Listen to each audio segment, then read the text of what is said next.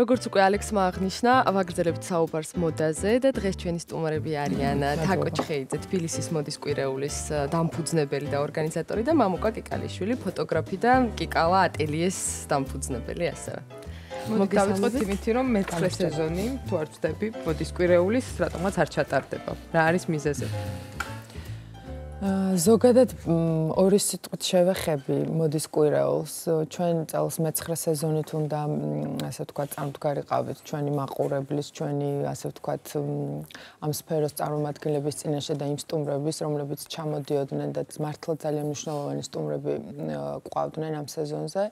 მაგრამ სამწუხაროდ მოგვიწია გაუქმება ამ სეზონის იმის გამო რომ ბიზნეს სექტორმა ესე ვთქვათ და სახელმწიფო სტრუქტურებმა რაღაცა თავი შეიკავეს ამ ღონისძიების დაფინანსებით და კიდევ ერთხელ მინდა აღვნიშნო, რომ ეს ღონისძიება არ არის შოუ ბიზნესი, ეს ღონისძიება არ არის გასართობი ღონისძიება, ეს არის ძალიან საქმიანი, ასე ვთქვათ, ღონისძიება. აქ აქ არის ლაპარაკი მთლიანად მოდის ინდუსტრიის განვითარებაზე. აა ჩემს უკან დგას მთლიანად მთელი მოდის სფერო, ესე ვთქვათ, ამ ღონისძიებამ ღონისძიებამ მოიტანა შედეგი ის, რომ ძალიან ბევრი პოპულარული დიზაინერი გაჩნდა ამ ქალაქში და ისინი ფარგლებს გარეთაც გავიდნენ. მათზე საერთაშორისო პრესაში იწერება, მყიდველები ასე ვთქვათ, ბაიერები უყვეთავენ კოლექციებს და ეს სფერო ნელ-ნელა ვითარდება. აქედან ამ ღონისძიების მეშვეობით წამოვიდნენ ახალი მოდელები, გაჩნდნენ ახალი ფოტოგრაფები, მოდის ბლოგერები და ეს არის თლიანად ინდუსტრიული ასე ვთქვათ. თუ ამრავი ადამიანი დასაქმდა, რომელიც იმის გამო რომ სწორედ ამის ეს ახსნა მიწევს სამწუხაროდ, იმიტომ რომ ეთყობას ვერ ავხსენით სწორად ან ვერ გაიგეს ის, რომ ეს არ არის გართობა და ეს არ არის კიდევ ერთხელ ვიტყვი რაღაცა ჩვენი პირადი რაღაცა ბიზნეს ღონისძიება. ჩვენ ბილეთს არ ყიდით, ჩვენ მოსაწოვებს ვარიგებთ და უბრალოდ ძალიან გულდასაწყვეტია, რომ მოგვიწია ამ სეზონის გაუქმება. კიდევ ერთ რომ ეს დავამატებ, რომ ჩვენ მოვხვდით უკვე საერთაშორისო კალენდარში მეორე სეზონია, ეს ძალიან პრესტიჟულია ჩვენთვის და პირველ რიგში ჩვენი ქალაქისთვის და ჩვენი ქვეყნისთვის. ჩვენ ყავს ფრანგი პარტნიორები, რომლებიც გვიწევენ საერთაშორისო პიარს და ძალიან უხერხული იყო უბრალოდ მათთვის ახსნა, რატომ მოგვიწია ამ სეზონის გაუქმება და უბრალოდ საერთაშორისო საიტზე, რომელიც არის Modem Online და ვინც მოდის სფეროში ერკვევა, ყველა ამ საიტზე შედის უშუალოდ, რომ გაეცნო სად რა მოდის კურეულები ტარდება, იქ დაეწერა, რომ თბილისი Fashion Week is cancelled. ასე რომ მე მგონი ძალიან უხერხულია ეს ყველაფერი და კიდევ ერთხელ მინდა ვის თქვა, რაღაცა ბევრი გამომივიდა, რომ ეს ღონისძიება არის პირველ რიგში ქვეყნის პრესტიჟი, ქალაქის ასე ვთქვათ PR-ი, რადგან ჩამოდიან ძალიან ცნობილი ჟურნალისტები, მოდის ჟურნალისტები და იმის გარდა რომ წერენ თბილისის Fashion Week-ზე, თბილისის მოდის კვირაულზე და კონკრეტულად დიზაინერებზე, აუცილებლად ყოველთვის აღნიშნავენ, რომ თბილისი რა კარგი ქალაქია, საქართველოს რა ლამაზი ქვეყანაა და ანუ მე ვფიქრობ ეს ძალიან პრესტიჟულია ჩვენთვის. ასე რომ ეს არის რაღაცა ორიოდე სიტყვით ესე შემოვიფარგლე, მაგრამ იმედი გვაქვს, რომ შემდეგი სეზონი უფრო პოპეზური იქნება, რადგან ჩვენ არ ვჩერდებით ეს იმას არ ნიშნავს, რომ გავაუქმეთ, ჩვენ ძალიან დიდი გზა გავიარეთ აქამდე რომ მოვედით. ბევრი დაბრკოლებაც იყო, რაღაც სხვადასხვა მიზეზები, მაგრამ რაღაცნაირად მოვედით, იმიტომ რომ ჩვენ ნამდვილად პროფესიონალური გუნდი ვართ, ჩემი პარტნიორები, ქართველი დიზაინერები, ყველა ერთად ვიდექით და მოვიტანეთ ეს ღონისძიება და თამამად შემიძლია ვთქვა, რომ რაღაცა ნაბიჯები დაიძრა ამ სფეროს განვითარებისთვის და უბრალოდ გული დამწყლება მე პირადად, რომ ეს ყველაფერი გაჩერდეს. უცრავად, თუ იცით, სოფლიოს სხვა მოდის კვირეულებს, თუ აქვს სახელმწიფოს მხარდაჭერა. იმიტომ რომ რეალურად ეს მაინც რაზეც თქვენ ისაუბრეთ, იყო გვერდით ეფექტებზე საუბარი თუ რასიც მოიტანს მოდის კვირეული, მაგრამ მოდის კვირეული ალბათ პირველ რიგში მიმართულია მოდის ინდუსტრიის, მოდის ბიზნესის განვითარებისკენ. და ამ შემთხვევაში ეს იმაზე ხო არ მიუთითებს, რომ თვითონ ბიზნესი დღეს საქართველოში მოდის ბიზნესი, მოდის ინდუსტრია ვერ დგას შესაბამის სიმაღლეზე. კი, დაგეთახმებით, რომ პარიზის მოდის კვირეულს, მილანის მოდის კვირეულს ნაწილობრივ უდგა სახელმწიფო, იმიტომ რომ ეს არის ძალიან პრესტიჟული პირველ რიგში ქალაქისთვის. პარიზის Fashion Week-ზე რომ მოგინდათ წასვლა პარიზში, იმ პერიოდში ძალიან რთულია სასტუმროს შოვნა, რაღაცა კაფე რესტორნებში შესვლა, ანუ იმის თქმა უნდა, რომ ძალიან ბევრი ადამიანი ჩამოდის და პირველ რიგში ტურიზმზე არის ეს ტურიზმის განვითარებასაც ასე ვთქვათ, აისახება და აუცილებელია ეს რომ სახელმწიფო რაღაცნაირად მაინც ნაწილობრივ უნდა ედგას ესეთ ღონისძიებაც გვერდში. მე ვფიქრობ, რომ ყველა ქვეყანა ცდილობს, რომ ისეთი ღონისძიებები ჩაატაროს თავის ქალაქში, რომელიც არის საერთაშორისო დონის. თან წელიწადში ორჯერ და ჩვენ ეს ღონისძიება არის საერთაშორისო დონის და კიდევ ერთხელ ვთქვი, ეს არის საერთაშორისო კალენდარში. პირველ რიგში ქვეყანა უნდა იყოს დაინტერესებული და ქალაქი თბილისი ყოველთვის იყო გემოვნებიან ქალაქად ჩვენს რეგიონში და ქართველი ქალები ყოველთვის ლამაზად იმოსებოდნენ და ჩვენ პირველად როდესაც დავიწყეთ მოდის კურეული ჩვენი მთავარი მაინც სურვილი იყო რომ რეგიონში ბოდიში დაუნთარებ რეგიონში დაგვემკვიდრა თავი და რეგიონალური ასე ვთქვათ მოდის კურეული გამხდარიყო გასაგებია პარიზი მილანი. ძალიან კარგია და ძალიან ბევრი სტუმარი ყავს მაგრამ მაინც ჩვენი დიზაინერები ძალიან კარგად იყიდებიან ესე რომ ვთქვათ ჩვენს რეგიონში. და აი მართლა აზერბაიჯანი სასომხეთი უკრაინა ყაზახეთი რუსეთი აი მოგვაწყდა თვითონ გწერე თვითონ უნდა ჩამოსლა იქაური დიზაინერებიც კი ჩამოდიან რომ ჩვენთან მიიღონ მონაწილეობა იქაური მყიდვა მოდველებენ ბაიერებს გულისხმობ ჟურნალისტები რა ვიცი აი ეს რასაკურველია ეს მოდის კურეული კიდე ზრდიდა იმ იმის მოთხოვნილებას რომ ახალი დიზაინერებიც გაჩენილიყვნენ ხო? უნებრივია თქვათ აი ფოტოგრაფებიც გადასულიყვნენ დიზაინერების ამპლუაშია რა თქვენ ატელიე გახსენით მოდით აი ამის შესახებაც ორი სიტყვით. Ну ესე იგი ამ სფეროში მე ირიბა თუ პირდაპირ დიდი ხანია ეს მოღვაწეობ როგორც ფოტოგრაფი დაახლოებით უკვე 7-8 წელი არის ვთქვათ, გავიმჩნდა სურვილი პლუს დიზაინერი აღმოაჩინე ძალიან ნიჭიერი, რომელთანაც გავაკეთეთ ატელიერ გიკალა, ესეთი ბრენდი ჩამოვაყალიბეთ. საკმაოდ ახალგაზრდა ბრენდი არის, ერთი წელია თითქმის, რაც ჩამოყალიბებულია. წინა თბილისის მოდის კვირეულზე ჩვენ უკვე გავიტანეთ კოლექცია ზამთარი 2013-ის და ნუ უდიდეს წარმატება მოიპოვა ამ კოლექციამ, მაგალითად ერთი ძალიან მარტივი მაგალითს გეტყვით, რომ დღეს უკვე მოსკოვში იყიდება ჩვენი დასმელი აზერბაიჯანში იყიდება, ყაზახეთში, ონლაინ მაღაზია გავხსენით ამ ერთ წელიწადში, ანუ ონლაინ მაღაზია ვარ და ონლაინ მაღაზიიდან ყიდულობენ ზოგი დუბაიდან, ზოგი ამერიკიდან, ზოგი მთელი მსოფლიოდან შემოდიან ამ საიტებზე, ანუ ბლოგერები წერენ ჩვენს შესახებ, ცნობილი ხალხი იცმევს ჩვენ დასაცმელს რუსეთში ძალიან ცნობილმა ხალხმა ჩაიცვა. მილაიოვიჩმა ჩაიცვა ახლა ერთი თვის წინ ჩვენი დასმელი და ნუ ეს ყველაფერი ძალიან მოქმედებს პიარის თვალსაზრისით. და შესაბამისად გაყიდვის პრობლემა იმ კუთხით არ აგვაქვს, რომ ჩვენ ხარ როგორც ესეთი space მაღაზია არ გვჭირდება ონლაინზე შეუძლია ნებისმიერ შევიდეს და არჩიოს იქ ჩვენი ტანსაცმელი შეუძლია შეკვეთა მოგცეს იქვე ონლაინ შეკვეთა. თავისი ზომები მიუთითოს არ არის აუცილებელი რომ ზუსტად იმ ზომის და პარამეტრების იყოს ადამიანი. ნებისმიერ ზომაში ორ დღეში უსრულებ შეკვეთას და გაგზავნაც არ არის პრობლემა ყველა ნებისმიერ დედამიწის ნებისმიერ ადგილას ვაგზავნით პოსტის საშუალებით. და ნუ შესაბამისად ეს ბიზნესი თუნდაც ის ბიზგია მოდის კვირეულმა მოგცა იმიტომ რომ აი ეს მინდოდა მეკითხა რომ მოგცათ თუ არა ეს ბიზნესი იმიტომ რომ ეხლა წარმოიდგინეთ ეხლა ჩვენ რო ეს აქ არ ყოფილიყო მაშინ უნდა დაუშვათ გვეფიქრა ან რუსეთში ან უკრაინაში ან სადღაც რომელიმე მოდის კვირეულზე გაგვეტანა ხო? იქ რო გავიტანოთ იქ სადღაც 10000 15000 დოლარი ჯდება ეს ყველაფერი ხო? აღარ ვამბობ უკვე უფრო სხვა ქვეყანაში დაუშვათ არა ანუ ეს ხარჯები არ ქონდა ხო? ანუ შენ ქვეყანაშივე ქონდა. ამ მოდის კვირაულმა ხო ჩამოიყვანა თავისი ხარჯებით ხო? ის ბაერები თქვათ ის ბლოგერები ჟურნალისტები ვინც გააშუქა ნახა ანუ ფაქტიურად მე ხა თაკოს კიდე გავიმეორებ ცოტათი ხო? ანუ ცოტა ჩემი კუთხით ვიტყვი.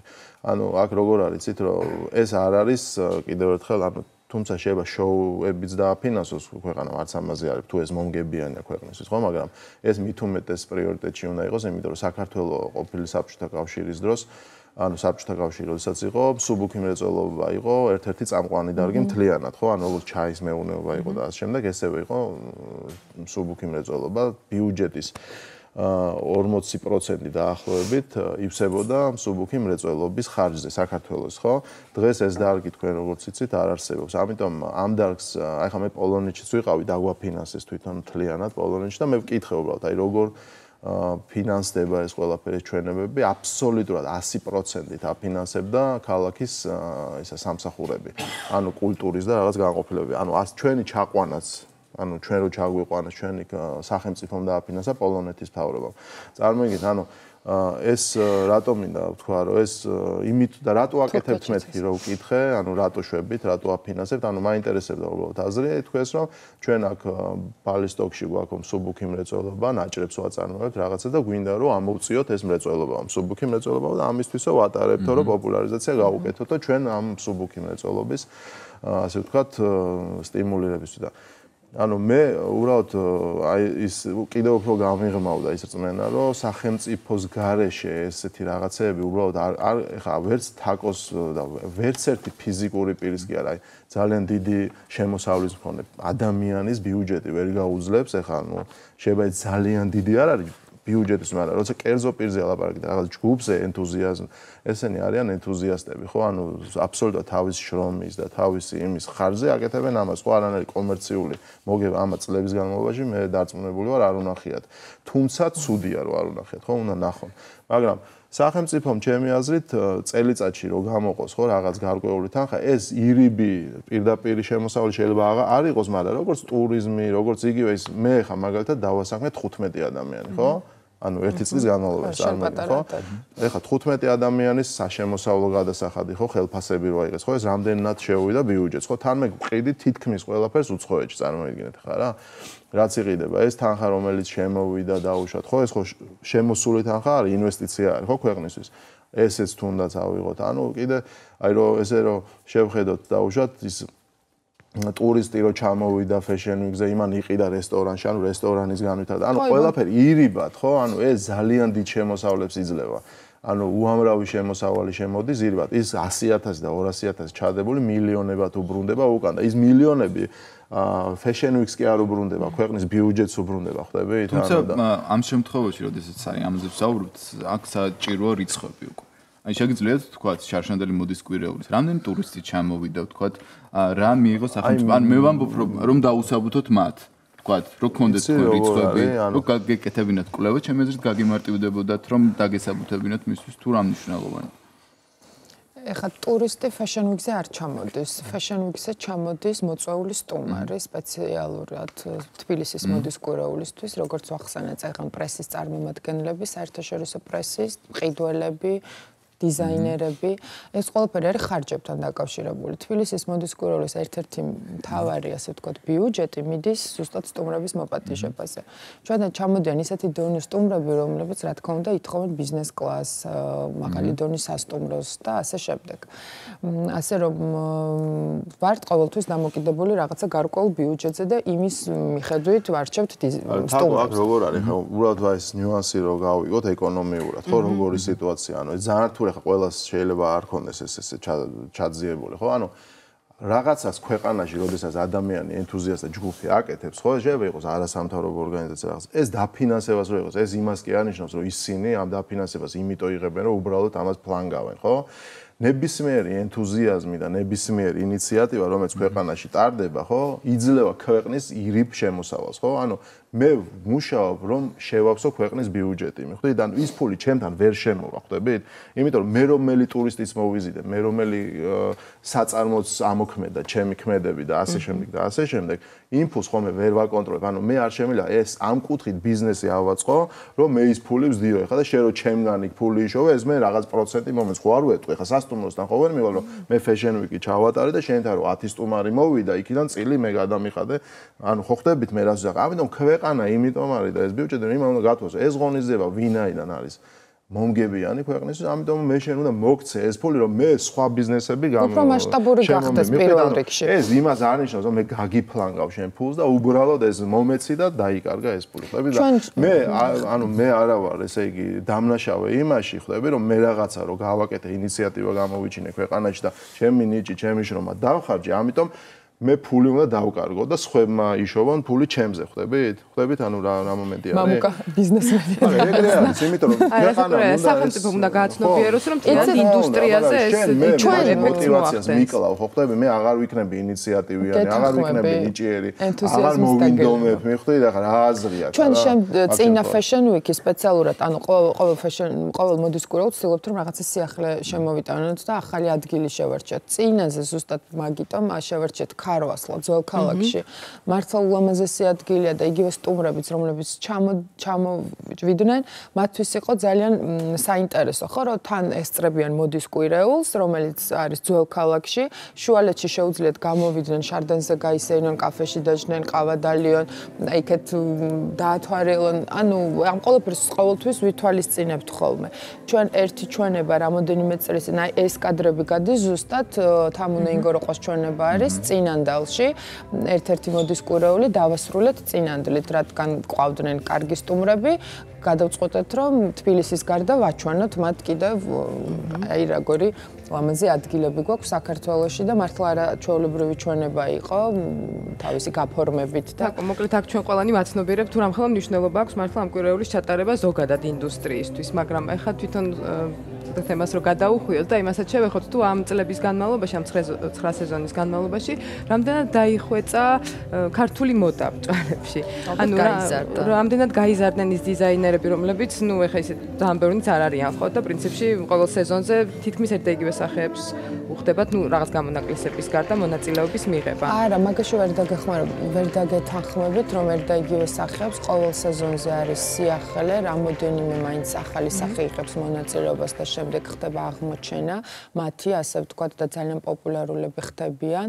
აი იგივე ატელიე კიკალას მაგალითი რო ვთქვათ წინა სეზონზე პირველად მიიღეს მონაწილეობა პირველად მიიღეს და მართლა ძალიან დიდ წარმატებას მიაღწიეს მამუკა მოყვა უკვე ყველაფერი და აღარ გავიმეორებ. თვითონ მამუკამაც არაჩვეულებრივი შეთავაზება მიიღო. შეიძლება ხო რო ვთქვა ჩვენთან იყო ჟურნალი ოფიციალი ჩამოსული აზერბაიჯანის გამოცემა და მამუკას ნამუშევრებს რომ გაეცან უშუალოდ მამუკას მე გულისხმობ როგორც ფოტოგრაფის, მამუკა დღემდე თანამშრომლობს მათთან და ძალიან პრესტიჟული და სამაყვა ჩვენთვის ბუნებრივია ქართველებისთვის. დიზაინერებს რაც შეეხება პირველ სეზონს რო ვაკეთებდით, სუთიძე ჩამოსათვლელი დიზაინერი ყავდა და მივხვდით რომ რაღაც საჭიროა რომ დიზაინერები წამოვიდნენ. სწორედ ამიტომ მოვიფიქრეთ Newcomers Day ახალბედა დიზაინერების დღე კონკურსის სახით. სადაც 4-5 კოსტუმით იღებენ მონაწილეობას ახალგაზრდა დიზაინერები. მათ შემდეგ ძალიან კარგი პრიზები ხვდებათ და ასე შემდეგ. ძალიან სტიმულის მომცემი არის მსგავსი ინიციატივები აი ახალგაზრდა დიზაინერებისთვის დიახ და სწორედ აი ამ კონკურსმა დღეს უკვე მოგვიტანა ახალი სახელები ახალი სახეები აი მაგალითად ძალიან ბევრს. აი მაგალითად გოლა რომელიც ნიუკამერებში მიიღო მონაწილეობა დღეს ფუნქციონალურად მოღვაწეობს როგორც დიზაინერი და მე დღეს მათსია მისი ასე თქვა სამოსი. ასევე აკან ანიტაშვილი მაკედან მოდის იგივე ლადო ბოკუჩავა რომელიც მამუკამ ახმოაჩინა თავისი ბრენდისთვის ატელიე კიკალასთვის თამარა კოპალინი რა ბევრი უკვე ხელშებასები რაღაცა გამომჩეს მაგრამ ამან რაღაცნაირად რომ ესეთი მონახაზი გააკეთო თუ იმისა თუ რა ჭირდება მოდას ქართული მოდის ინდუსტრიის განვითარებას ანუ აი კიდე რა კომპონენტები ანუ გავიგეთ რომ კვირეული აუცილებლად უნდა ტარდებოდეს და თქვა მსგავსი კონკურსები ახალგაზრდა დიზაინერებისთვის აი კიდევ არ ვიცი რაღაც იქნებ განათლების კი აი სწორედ მაგის თქმა მინდოდა რომ ჟურნალები გეთახმებით თუმცა ერთ-ერთმა ჟურნალმა ვერ გაიხარა პრინციპში ძალიან ძალიან რთული თემაა და ბუნებრივია ინვესტიციას მოითხოვს ქართულ მოდაში უნდა ჩაიდოს სერიოზული ინვესტიცია რომ ეს განვითარდეს და მართლა დიდი პოტენციალი გვაქვს. აი იტალიის მაგალითი რო ავიღოთ, ზუსტად არ ვიცი ციფრები, მაგრამ დაახლოებით 70% ეკონომიკის შემოსავლით არის retail, ანუ წარმოებიდან, ანუ იტალიური წარმოების, რაც ჩვენს გვაქვს ამისი ძალიან დიდი პოტენციალი. ყოველთვის აღნიშნავენ უცხოელი სტუმრები და ძალიან ისეთი დონის, რომლებიც სუდად გადიან მოდის კვირაულებზე და ბევრი აქვს ნანახი რომ ქართველი დიზაინერები არიან გამორჩეულები და მათ შეუძლიათ სოფლიო ბაზარზე დაიმკვიდრონ თავი უბრალოდ რა თქმა უნდა ხელშეწყობა ჭირდებათ და პირველ რიგში ფინანსები. რაც შეხება განათლებას მოდის კვირაული არ შემოიფარგლება მხოლოდ ჩვენებებით და კონკურსით, როგორც აღნიშნე, ჩვენ გვაქვს ასევე საგანმანათლებლო პუნქტი, ჩამოყავს ძალიან კარგი პროფესორები სხვადასხვა მოდის ინსტიტუტებიდან და რომლებიც ატარებენ არაჩვეულებრივ მასტერკლასებს. წინა სეზონს თუ გავიხსენებთ, ჩვენ მასტერკლასები გქონდა ბლოგერებისთვის ცალკე, ჟურნალისტებისთვის, მოდის ჟურნალისტებისთვის და დიზაინერებისთვის და მართლა ძალიან დიდი დასწრება იყო. ჩვენ სამხატვრო აკადემიასთან ერთად თანამშრომლობთ ამ განხრით და რა ყველანაირად ვცდილობთ, რომ დიზაინერებს მივცეთ საშუალება, რომ განვითარდნენ. და რა ვიცი, იმ მივალთ იქამდე, რომ აუცილებლად დაგჭირდება ქართული წარმოება, მასიურ წარმოებას გულისხმობს, ამ ამ ამ განხრითაც მუშაობთ და რა ვიცი, ცოტა უფრო მეტი ხელშეწყობა ალბათ საჭირო. ძალიან დიდი მადლობა. ჩვენს არ ვიცი, ვისურვოთ რომ ესეთი ჩავარდნა აღარ ქონოდეს მოდის კვირეულს და მაშინ სახელმწიფო დაინტერესებაც იყოს, ბიზნეს სექტორის დაინტერესებაც იყოს და ასე შემდეგ. თაკო ჩხეიძე, მამუკა კალეშვილი იყვნენ ჩვენი სტუმრები. აა წერილთა სახლში გამართული სარეჯიშვილის კვირეულის შესახებ საუბრით დაუბრუნდებით ახლა რეკლამა.